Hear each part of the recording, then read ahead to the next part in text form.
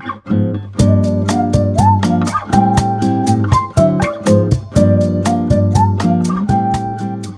everyone, welcome to our channel. My name is C, but in Marshland, I'm known as Chaos. for all of my chaotic builds, maybe. Nook's Cranny has always felt out of place for me on my island and is one of the toughest ones to make pretty. In this video, I will show you how I decorated mine based on this inspiration from lounoroom on Instagram. I have a wheat core island, so I thought this is perfect for my Nook's Cranny area. Let's get started. First, the layout. I had a small blank area to the left of my entrance. I've always wanted Nook's Cranny close to my entrance so that it's easier for when people come and visit. So I decided to continue the river that I had going on and build a bridge over it to connect the two pieces of land. It was a bit tough to place this diagonal bridge, but if you need exact dimensions, it needs to be 4 spaces wide and can be as short as 3 spaces and as long as 5 spaces.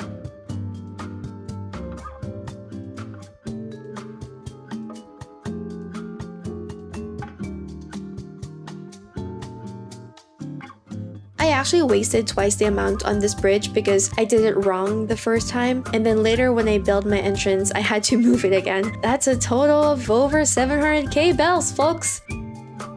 After the bridge, I went on to continue the river water terraforming in front of Nook's Cranny, and I had it stop naturally to another land bridge that I have yet to build. The water is 2 spaces tall and 12 spaces wide. Usually, the dimensions of a whole area that can fit a photo in Animal Crossing is about 13 wide and 17 tall.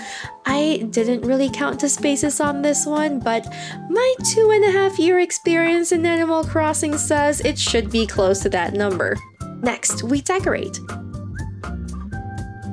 At first, I was using all of the wheat fields and log fences as placeholders. I lined them up three spaces away from Nook's Cranny just to kind of see where all the items will land. And then the rest of the design is pretty simple. Since I have a wheat core island, I took lots of wheat fields, paired it with a white hyacinth, and nature items like the garden rock and bushes. I really like the log fence from the reference, so I use that too. If you don't have a nature core, forest core, or cottage core island, don't worry, this area should still work for you even if you have a city core or a fairy core for example. Just think of what items you usually would use to line your paths down and just use those.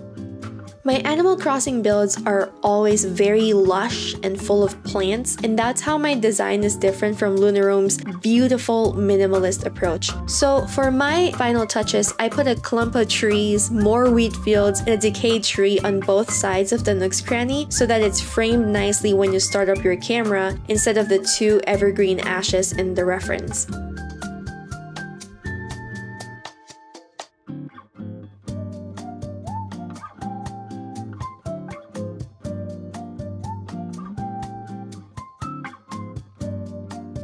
And voila!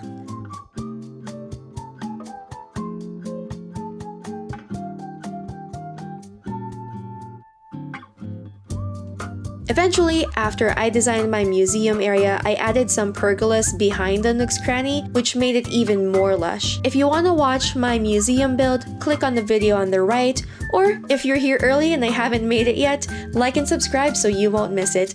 See you in the comments!